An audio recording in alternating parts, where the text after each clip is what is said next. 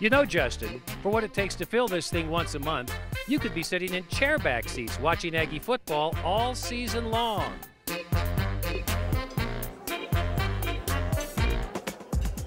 You know, Justin, for what it costs for this four course meal, you could be watching the Aggies play every Saturday.